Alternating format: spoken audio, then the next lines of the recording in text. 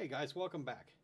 Today we got a great tutorial for you. I'm going to show you how to turn a refrigerator compressor into an airbrush compressor. Stay tuned.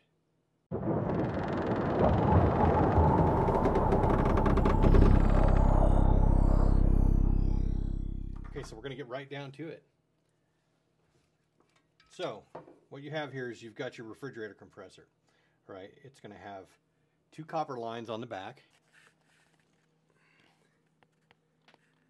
Okay, one of them is an inlet. Okay, this is your suction in. I've got a filter dryer attached to that from a home AC unit. Keeps the moisture out, keeps particles out. Okay, you have this other line. That's your line that pushes the air out into the tank, into the top of that. Okay, this is your inlet into the tank. There's a little check valve in there. There's a little ball, right? The air can only go one way. It can't come back out this way. Okay, got the switch right here. It turns it off at a certain pressure, turns it back on at a certain pressure. Little markings on there say what that is. So what we've got first off is called a three-in-one starter kit. It's got three wires on one side and two wires on the other. These three wires go directly to the compressor and they connect onto those pins that are inside there and they're marked on the unit. Okay, so just the way you see it there, the orientation of those pins is the way that it is when it's sitting upright. So you just follow that, right? Follow the wiring diagram on here and you can't go wrong. Okay, I'm going to try to keep this simple if I can. I've got my cord coming in, right, my power cable. All right, it's coming up here. It's my particular cord is brown. All right, so I've got my three wires. Got my hot, got my neutral, and I've got my ground. Ground goes to the body of the compressor because I've got my power wires on the top of this thing, right? They're not polarized. There's not one positive, one negative, one hot, one neutral, nothing like that. Okay, it's just power goes in whichever one you want to pick. I've taken my hot wire, right? My hot wire, my energized wire off of my pigtail coming in, my cord, and I've run it up to this other pigtail that leads up to this switch. All right, so then the other side of that runs down and it's white. Doesn't matter, the colors don't matter on this particular deal, It just happened to look like that. I've got this going through here to the other side. What I've done is I've put this switch in line on the hot wire coming in there's probably a whole other tutorial we could do on just the wiring of this thing. But just remember, your pressure switch up top is going to go in line on your hot wire. If you can follow your wiring like you're supposed to, then you'll be fine. That's really the most complicated part of this is the wiring. Okay, so let me get on to the next spot. If you guys have any questions about any of that, just let me know. Okay, so what I've done here is I've attached this filter dryer. Keeps the water out and keeps the dirty particles out of this compressor. It's nice and clean in there, right? So this is your suction. And in the event that you get one of these powered up and you don't know which side is which, you can put your finger over it. You can actually feel. I'll turn it on here in a moment and hear it run. Uh, anyway, so you've got your you've got your other copper coming up here, and that's the one that goes into the top of the tank, right? There's a check valve in there. Air only gets in one way. Then you've got your regulator here, right? Shows you your pressure in the tank and it shows you your working pressure. So then I've got another filter right here, right? That's pretty standard, pretty common right there. And then there's a there's a shut-off valve. This part here I got a Harbor Freight. Little fittings and things like that here. I got those at Harbor Freight. So I've got the hose coming off of here and then I've got my airbrush attached to the other end of it uh, underneath the desk. Okay, so I'm going to go ahead and I'm to power this thing up and you can hear it run and hear how quiet it is. There it goes. Okay. So I've got some hissing going on here. That's that's a little drain right there. I'm gonna, I'm gonna it's spring loaded, so it'll it'll stop.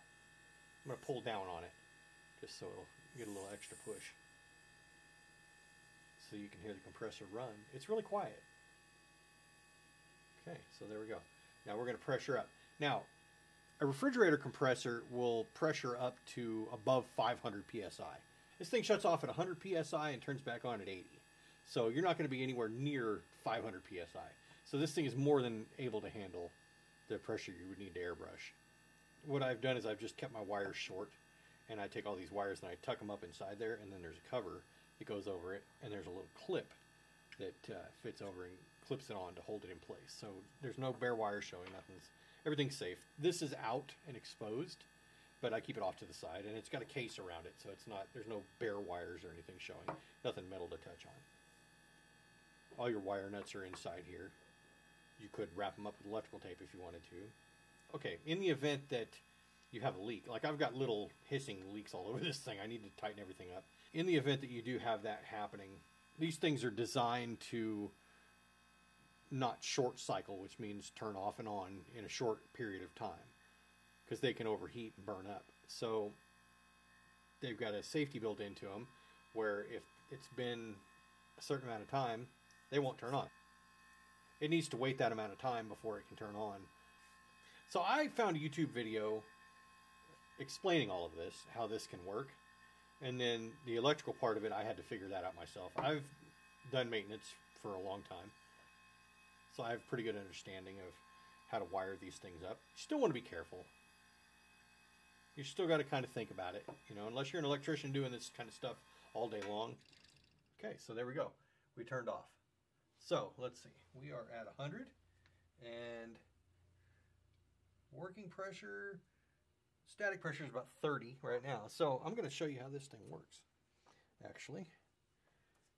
And I'm not going to, so that's on. Let's go right. Let's not spray any of the electrical stuff. How about that? That's more than adequate. No, you can't see it. It's just water.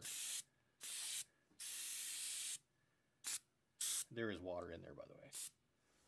Let's see if you can see it. Yeah, see? Okay, don't spray the electrical stuff too much.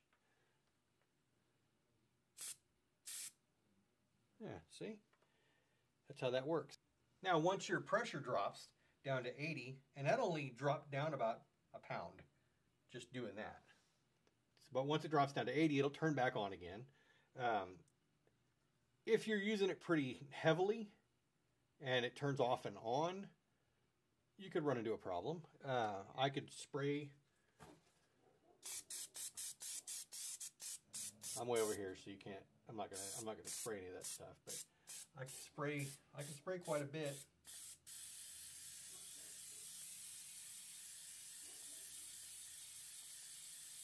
Seeing right there, I've only used about five pounds. You got 20 pounds to work with, so if it and that was that's pretty heavy spray volume too. So I guess the main thing to remember here is you've got your power cord coming in, right? You're going to break your hot off the power cord and you're going to run it up to this switch right here.